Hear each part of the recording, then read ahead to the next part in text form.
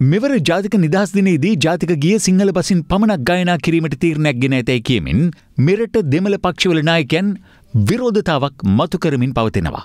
ඒ පිළිබඳව දෙමළ සඳහන මන්ත්‍රී එම සුමන්දරන් මහතා ඊයේ මෙලෙස අදහස් පල කලා. වත්මන් රජය ආකල්ප වෙනස් වෙලා. ඒක සුහදත්වයට බලපෑම. අපිට සාමේ දෑත්දිකු කරන්න බැහැ. දෙමලෙන් ජාතික ගිය කියන්න එපා කියලා කියනවනම්. ඒක තේරුම දෙමළ මිනිස්සු ජාතික ගිය කිව යුතු නැහැ කියන එකයි.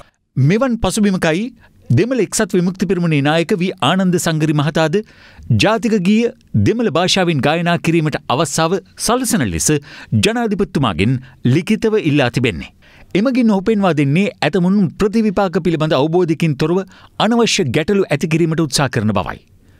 ජාතික ගී යනු තමන් අයත් රටේ අනන්‍යතාවේ සල්කුණු කරන්නක් බැවින් ඒ පහසු අන්දමින් ගායනා කිරීමට සෑම පුරවැසියකුටම අවස්සාාවක් තිබිය යුතු අතර එය ඔවුන්ගේ අයිතියක්ද බවයි ආනන්ද සංගරි මහතාසිය ලිපියෙන් පෙන්වා දෙන්නේ. මේ අතර ජාතික නිදහස් දෙන උලෙලේදී ජාතික ගිය දෙමළ භාෂාවෙන් ගැීම ඉවත් කිරීම නිසකවම සංහිදියාවට එල්ල කළ දැඩි පහරක් බව පාර්ලිමින්තු මන්ත්‍රී මනෝ ගණේෂන් මහතා ප්‍රකාශ කරනවා. මේ සම්බන්ධින් ඔහු ජනාධිපති ගෝටාබේ රාජපක්ෂ මහතාට ලිපියක් දෙවමු කර තිබෙනවා. ඉදිරියේදී ජනාධිපතිවර හමුවේ මේ පිළිබඳව සාකච්ඡා කරන බවයි පාර්ලිමින්තු මන්ත්‍රී මනෝ ගණේෂන් මහතා ප්‍රකාශ කළේ. මේ අතර තමිල්නාඩුවේ DMK පක්ෂනායක MK ස්ටාලින් ශ්‍රී ලංකාවේ ජාතික ගිය සිංහල බසින් පමණක් ගායනා කිරීම සඳහා ලක් රජ්‍යගත් තීරණය හෙලා දකින බව ප්‍රකාශ කර තිබෙනවා.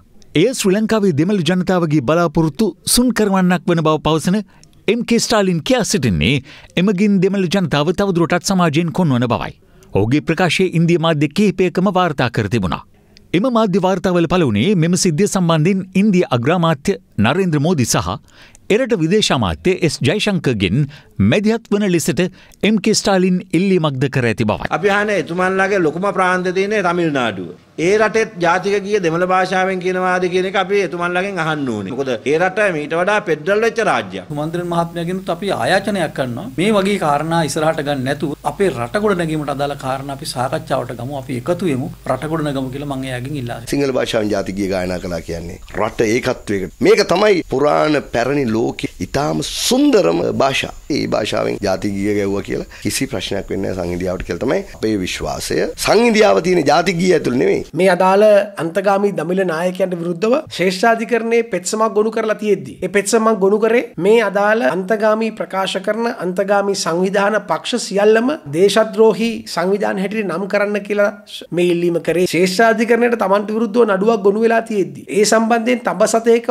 සැලකිල්ල දක්වනතු නැවත නවත විග්නේශ්වරන් මහත්තයලා සුමන්තිරන් මහත්මලා මේ විදියට ජාතික ගිය ප්‍රශ්නයක් හුවා දක්වලා හොඳට ඉන්න ජාතීන් ભેද බින්න කර තත්ත්වයක් අද පේන්න තියෙනවා මහජන උත්සවවලදී මේ ජාතික ගීය ගායනා කළ යුතුයි කියලා නියමයක් නැහැ. ඒ ආණ්ඩුවේ ප්‍රතිපත්ති අනුව ඒක වෙන්නේ. නමුත් ගිය ආණ්ඩුව ජාතික නිදහස් දිනේ උත්සවයේදී අලුත් දෙයක් ආරම්භ කළා. ඒ තමයි ආරම්භයේදී සිංහලෙන් ජාතික ගීයත් උත්සවයේ අවසානයේ දෙමළෙන් ජාතික ගීයත් වාදනය කිරීමට පෞගිය ආණ්ඩුව කටයුතු කළා. ඉතින් ඒක නරක දෙයක් නෙමෙයි. ඒකෙන් කාටවත් වරදක් වෙන්නේ නැහැ. ඒක එසේ වෙනකොට දෙමළ ජනතාවගේ හිත්වලට කැමැත්තක් ඇති ඒ කැමැත්ත ඔවුන්ගේ හිත්වල ඇති කිරීම හොඳ දෙයක්. අපිත් මේ ජාතියට අයිති කියලා. මේක දෙමළ භාෂාවෙන් අපේ ජාතික ගීය ගයන්න ඉඩ නොදුන්නේ ප්‍රභාකර.